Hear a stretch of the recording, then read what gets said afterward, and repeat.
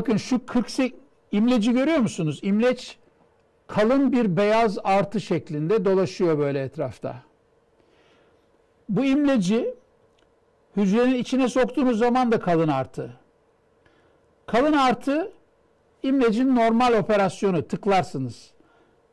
Hücrenin kenarına getirirseniz dört yöne ok gösteriyor siyah. Bu hücreyi hareket ettirebilirsin demek.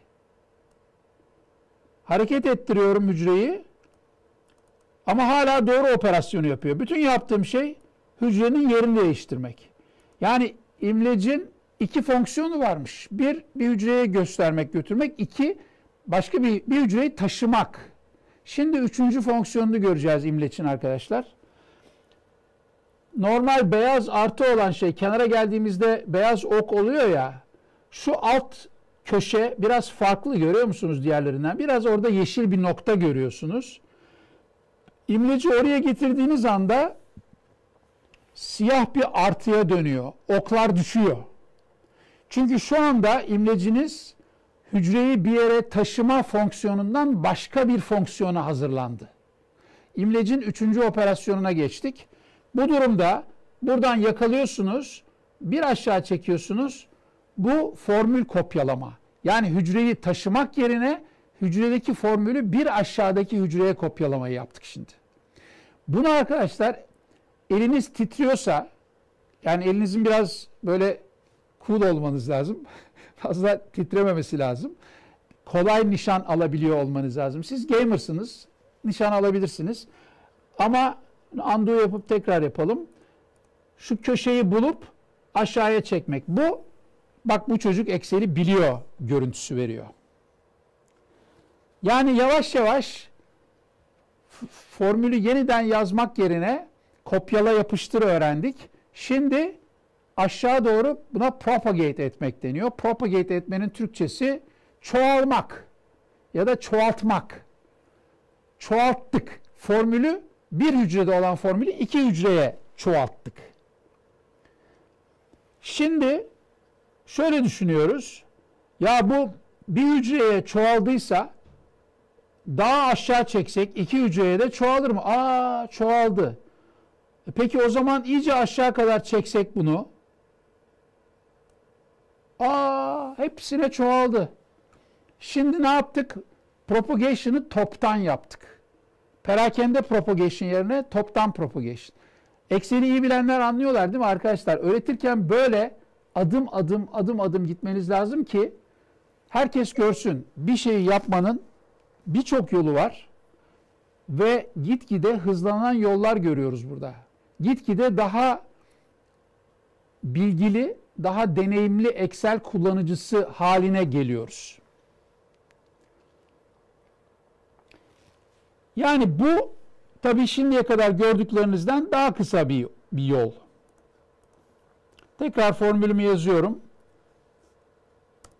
48. Ama en hızlı yol bu da değil. Şimdi biraz ufaltacağım tekrar. Bu kadar büyük olursa göremeyiz bütün tabloyu. Yani arkadaşlar 10 kişilik sınıfta e, niye çalıştığımı da anladınız diye umuyorum. Hepsini görebilin diye. Yani bunu yüzde yapabilirim. Tabii sınıfta bir Recep olduğunu görmüşsünüzdür umarım. Bir Selen olduğunu ve Esra olduğunu görmüşsünüzdür. En yüksek notunda Esra'nın olduğunu görmüşsünüzdür diye umuyorum bu arada.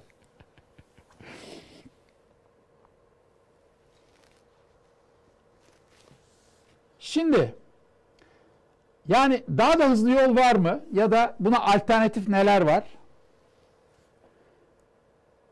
Şuraya çoğaltmak istiyoruz değil mi? Fill down. Menüde file gidiyoruz. Doldur, down, aşağı. Aşağı kadar doldur. Hücreyi highlight ediyoruz. Ondan sonra fill down. Bu da hızlı bir yol. Yine undo ediyorum highlight etmiş haldeyken bu sefer menüye de gitmiyorum. Mouse da kullanmıyorum. CTRL D. Ctrl D. Bu da fill down'un shortcut'ı. Biraz daha hızlanmış olduk şimdi. Şimdi arkadaşlar toplam 5 tane propagasyon yolu öğrendiniz. Çoğaltma yolu öğrendiniz. Tek tek girme, copy paste, çekme, propagate etme, Control down'la propagate etme. Fill'den, fill down. Ondan sonra CTRL D ile propagate etme. Şimdi altıncıyı gösteriyorum size. Altıncıyı gösteriyorum ve altıncı yol en hızlı yol. Gerçekten bilenlerin kullandığı tek yol. Yani mesela ben birini işe alırken bazen Excel'le de test yapıyorum dedim ya. Bu tabloyu veririm mesela. Bu ilk 5 metottan birini kullanırsa ah, bana yalmaz. Yani ben benim için yavaş kalır. Çünkü mesela biraz önce propagate yaptık ya. Şimdi bunu alıp çocuk böyle propagate ediyorsa burada mı duracağım, burada mı hay Allah kaçırdım tekrar yukarı çıkayım falan. Ya bunun 3000 tanelik falan olduğunu düşünün. Böyle sabaha kadar aşağı çekecek tamam mı? E yok yani bu adamı çekemem ben. O adam çekmeye devam etsin ben çekmeyeyim onu. Şimdi en hızlı yolu gösteriyorum arkadaşlar. Bu yolun çalışması için şu kolonda bir şeyler olması lazım. Yani o kolonu taklit edecek şimdi Excel. O kolona o kolonun yanında böyle gidecek tık tık tık tık tık. Dolayısıyla o kolonun dolu olması lazım. Şimdi bu 48'e geliyoruz. Ve altını da görelim dosyanın. Bu ekran touch ekran değil. Laptopları karıştırdım. 48'e geliyoruz. Şu alttaki propagation karesi var ya. Oraya çift tıklıyoruz arkadaşlar. Tık tık. Tık tık. Mesela bu mouse'u kullandığınızda sizi yavaşlatacak değil hızlandıracak olan bir operasyon. Burada mouse kullanmak okey. Hele böyle 3000 tane falan veri varsa. Bakalım kimler geçti, kimler kaldı. Yani şu sarıyı da siliyorum. Sarıya ihtiyacım yok. No fill.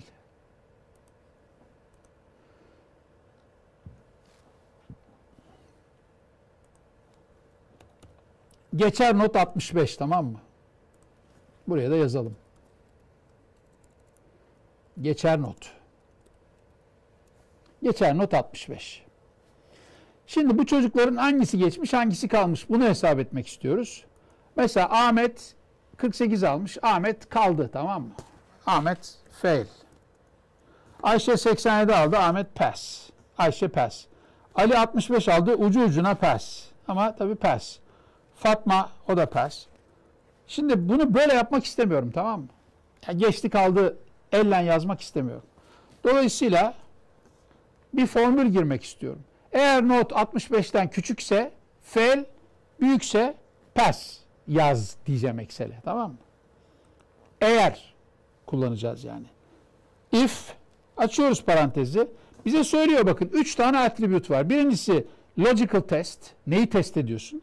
İkincisi test ettiğin şey doğruysa ne yapayım abi? Üçüncüsü de test ettiğin şey yanlışsa ne yapayım abi? Tamam mı? Test.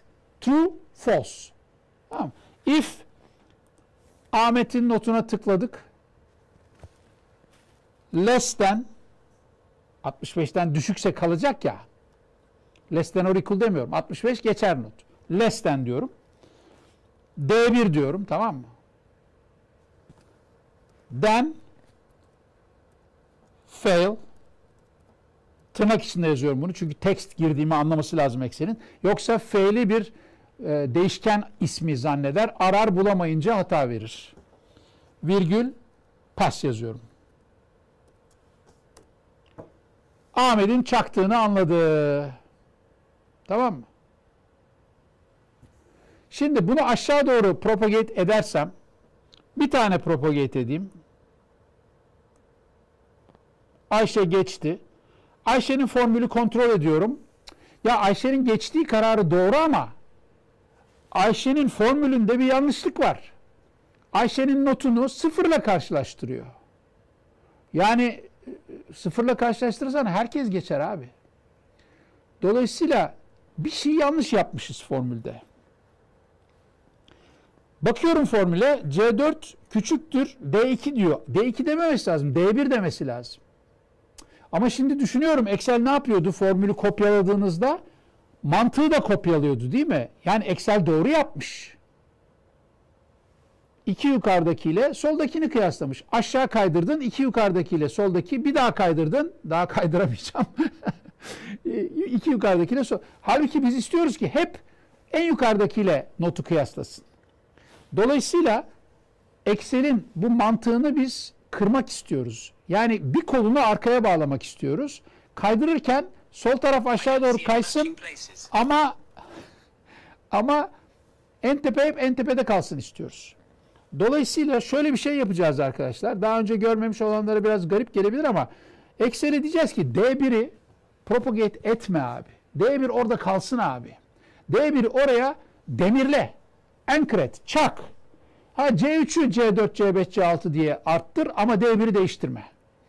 Bunu nasıl yapacağız? D1'in üstüne tıkladıktan sonra Fn F4. Mac'lerde sadece F4'e basıyorsunuz. Dolar D dolar 1 yazdı tamam mı? Şimdi dolar D dolar 1 ne biliyor musunuz? Ne hücreyi aşağı ne de sağa doğru kaydırma dedik biz. Bilgileri sürekli D'den al, D1'den al dedik. Fn F4'e tekrar basarsanız bu doların işaretinin yerinin değiştiğini göreceksiniz. Şu anda mesela birinci rova yapıştık ama DEF diye gidebilir. Bu da çalışırdı. Şu anda D'ye yapıştık. 1, 2, 3, 4 diye gidebilir. Şu anda tamamen serbest bıraktık. Buna relative reference deniyor. Buna absolute reference deniyor. Buna da one way absolute reference deniyor. Absolute reference'a ihtiyacımız var. Şimdi bunu pat aşağı propagate edebiliyoruz. Hasan'la Ahmet kaldılar. Peki kaç kişi kaldı? Kaç kişi kaldığını nasıl ölçeriz? Şuraya ya bu yine 3000 kişilik bir sınıf olabilir. 700 kişilik yetken sınıfı olabilir. Bir count if yazabiliriz arkadaşlar. Count if say demek tamam mı? Say. Count if neyi sayayım? D3'ten D13'e kadar olanlara bak ve bunların arasından fail olanları say. Tabi C'ye bakıp 65'in altını da saydırabilirdim. Aynı kapıya çıkardı. İki kişinin kaldığını görüyoruz tamam mı? Şimdi bunun canlı olduğunu görmenizi istiyorum. Hoca 65 olmaz kardeşim benim geçer notum 70 dedi tamam mı? Pat Ali ile Fatma da kaldı gördünüz mü? Ve kalan sayısı 4'e çıktı. Tamam mı? Şimdi güzel yani bu da biraz insafsızlık oldu. Biz yine bunu 65'e indirelim. Ama yani ben böyle 100 tane öğrenci varken kimin kaldığını, kimin geçtiğini pat diye görmek istiyorum tamam mı? Öyle Ahmet, Feil, Ayşe Pel bakmak istemiyorum. O zaman ne yapacağım? Şu kolonu tekrar seçeceğim. Ya da şunu yandakini seçeyim. Yani 65'in altı kalıyordu ya. Conditional formatting'e gideceğim. Highlight cell rules. Less than'i seçeceğim. Ve less than 65 yazacağım. Şu anda kimlerin kaldığı hemen kırmızıya boyandı. Şunu bakalım yapabilecek miyiz? Equal to fail. Bakın bu da çalıştı. D'de fail olanları kırmızı yaptık. Bunun conditional formatting'ini bırakıyorum. Geçer notu 70'e çıkartıyorum. Pat 4 kişinin kaldığı görülüyor. Geçer notu 80'e çıkartıyorum. Pat 6 kişinin kaldığını görüyoruz. Buna conditional formatting deniyor arkadaşlar. Şartlı formatlama. Tamamen görsel bir şey. Çok hızlı bir şekilde e, 0-1'i görmenizi sağlıyor. Veya bunu gradasyon için de kullanabilirsiniz. Mesela işte şu notları conditional formatting ile renklendirelim. En kötü not kırmızı olsun, en iyi not yeşil olsun. Aradaki notlarda sarı, turuncu falan olsun. İşte çok net görünüyor kimin notunun iyi. Buna trafik işareti e, deniyor görse, e, veri görselleştirmede. Çünkü kullanılan renkler yeşil, sarı, kırmızı ve tabi aralarındaki renkler. Sadece yeşil, sarı da kırmızı da kullanabilirsiniz. Ara renkleri de kullanabilirsiniz. Ben ara renkleri tercih ediyorum çünkü daha fazla bilgi veriyor. Tabii yeşil, sarı, kırmızıyı beğenmiyorsanız işte mavi, kırmızı kullanabilirsiniz. Kırmızının tonlarını kullanabilirsiniz. İşte ne kadar kötüyse notun o kadar kırmızısının notu en iyi olanlar beyaz falan şeklinde. Böylelikle görsel olarak kimin geçtiğini, kimin kaldığını görebilirsiniz.